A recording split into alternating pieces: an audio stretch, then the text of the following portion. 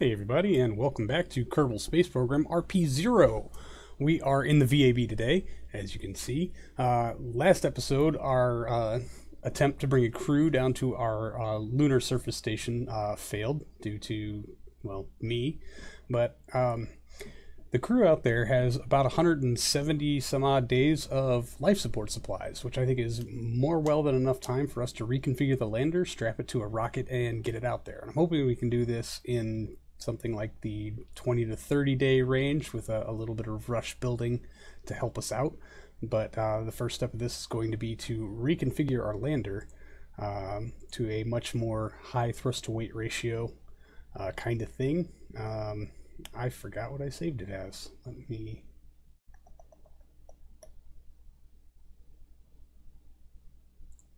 Advanced three person lunar lander. That would be it. There it is. Awesome. So I'm going to try to reconfigure this thing. We're going to get it attached to a new delivery system. It's probably going to need a, uh, another stage below it to uh, help it capture around the moon. And then, uh, well, I'll leave that to the fast forwardy bits. So uh, here we go. Now the modification of everything turned out to be uh, a whole lot easier than I thought, except that uh, my menu for rerouting the parts it, it doesn't exist. It's just not there. It should be there, but it's not. So after trying to rack my brain about how not to just uh, press the button to exit, I saved the uh, craft as uh, something new, exited the VAB, jumped back into the VAB, let it load for a considerable amount of time, and then bang, there's my reroute menu. So we're going to reroute to the uh, docking port up top remove our lunar module descent engine and empty all of our fuel tanks. And uh, I did want to just uh, check. Uh, five Astris 2s will provide considerably uh, more thrust than our lunar descent engine, which I think is 40 some odd kilonewtons. These are about uh, 20 something apiece. And so then we'll just uh, top off our tanks with the new Aerozine and N2O mixture and get everything dialed in there. And then, yeah, bingo. Looks like we're going to get about 3 kilometers per second with a total burn time of 7 minutes and 26 seconds. So that is uh, double what we are getting. I mean, it's not, we're getting less overall delta V, but we're going to get it twice as fast. So uh, that works pretty well for that. We'll uh, bring out an, uh, oh, an Agena core. Jeez, losing it today. So we do need a means of capturing this into orbit around the moon and providing the functionality of uh, working us towards docking, and uh, also some form of avionics control. Um, I think with the core, we should be able to net the profit of the avionics tonnage of the um, crewed module even without crew in it. So now it's just a matter of uh, getting a tank of appropriate size and giving us long enough runtime. Uh, it's you know, roughly 800 meters a second or so to capture into orbit, and then we'll probably want a little bit more than that to help us with uh, rendezvous and docking. And of course, if we have a little left in the tank after all that is said and done, then, you know, it's just profit. That'll help us uh, with our uh, initial descent towards the moon, maybe help take care of that uh, initial deorbit burn. And now we need to add it to a delivery vehicle since this is going up on its own. Uh, I did kind of wrestle with myself if I wanted to do a uh, DN1X or a DN. Oh, really, it was the DN1AX or the DN2BX. Uh, we went with the 2B because I was just like, well, I would rather have entirely too much Delta V than not enough. Uh, this entire package payload here comes in uh, a little under 30 ton. So it's fairly mild, I guess, and we can use uh, kind of our mid-range rocket for that. We just need to make sure that tanks get fueled because sometimes when you pull things out of a sub-assembly menu, they are not fueled, which was the case here. We had to add the liquid hydrogen mix both to the core stage and to the HG3 upper stage, and a little bit to the boosters just to make sure everything has the appropriate mixture of fuels. There we go. And then, uh, of course, play with the action groups a lot uh, everything tends to get a little screwy, especially when you pull things from uh, the subassembly menu. Um, there's some trick about leaving um, blank stages uh, above something when you save it to a subassembly menu. I just never actually remember to do that. Yeah, shame on me. Make sure auto strut is set on. Adjust the fairing size because it just doesn't want to do that automatically. And then uh, yeah, get the arrow fairing on and turn it over to old me. Alright, so I am going to run a simulation of this just uh, to make sure that we can have control of the lunar lander uh, or of the package itself. Uh, once we separate from the HG3 stage, uh, I'm a little concerned because I've had some issues where if the first part is a computer core, even if you have a crew capable command pod under it, you'll be fine. But if the first part is a crewed pod and then you add an avionics core to it, even if you're below your tonnage, you won't get avionics. It's a weird setup, but uh, we're just going to test for that just to make sure. And of course, for Delta V reasons. All right, but uh, by the numbers, we've got more than enough Delta V. What we don't have is a launch pad. Good thing that doesn't stop us. Uh, yeah, we'll push you back off to the side. We don't really need to line up for anything, so let's just get this show on the road. All engine's running. There's a good liftoff. All right, well, I'm just going to go ahead and uh, try to get this to orbit, and then uh, we'll pick up the rest of our testing there.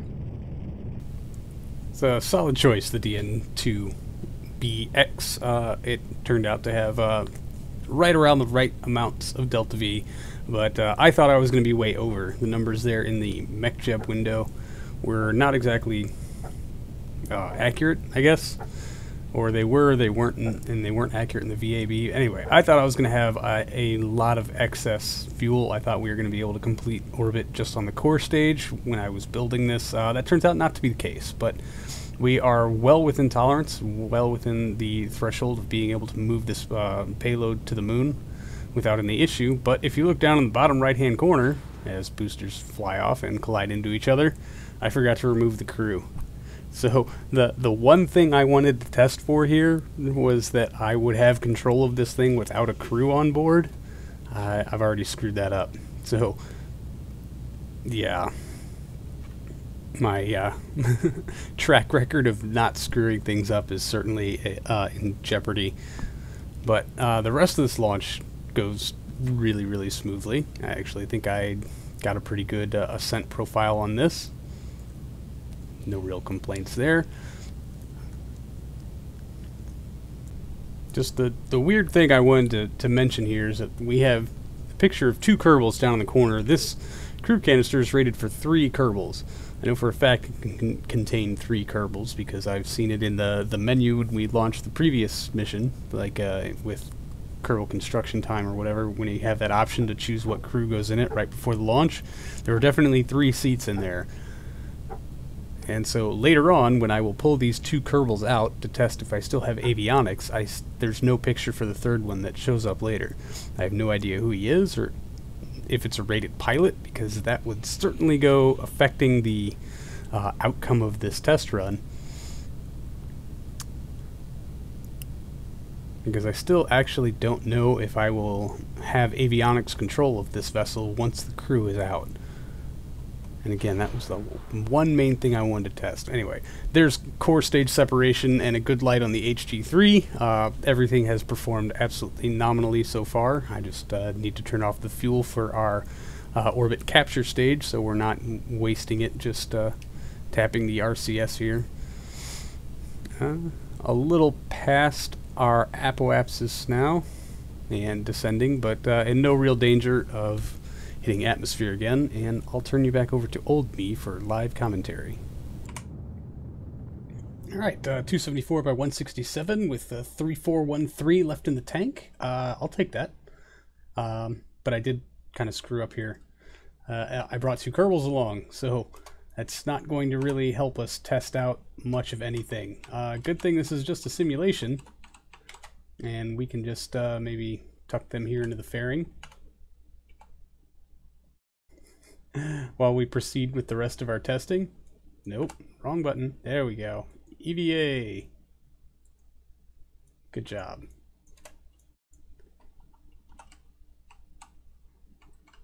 What are, wow, okay then.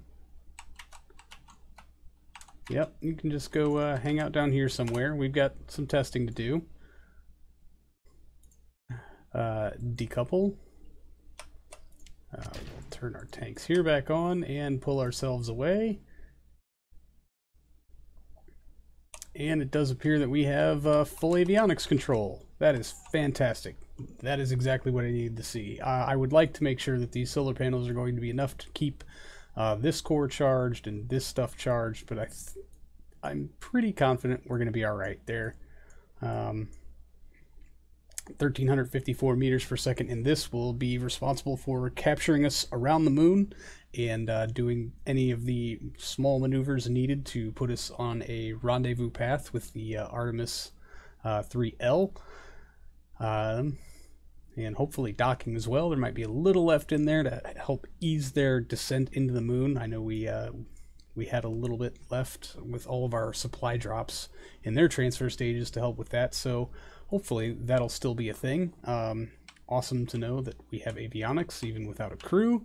That is perfect. Now we just hope that it uh, stays the same when we launch without a crew, or hope that I can remember to remove the crew uh, before launch. So uh, I really do not think that we can separate this and have avionics. This should be the only automated core on board. So we have to complete docking with that, or we're just kind of dead in the water. But uh, I am not above pumping fuel from our lander into this stage to keep us going. We could refuel a little bit from the Artemis. I know there's a little fuel left in the ascent stage that's docked out there also. So those will be uh, those problems that we will be uh, sussing out once we get there. Ta-da! So uh, next time we're gonna launch this baby. Uh, I'm gonna rush build the hell out of it. It says it should take nominally 50 days. We're gonna try to cut that time in at least half. Um, I mean, the crew that's up there was anticipating and being in space for a while, but I'm pretty sure they were also anticipating being able to go outside and stretch their legs and stuff. So for right now, they're kind of like uh, Apollo 13ing it not the most comfortable of uh, circumstance. But anyway, that's going to do it for this episode, everybody. Thank you so much for hanging out. I really do appreciate it. And I will see all of you in the next one. So until then, see you later.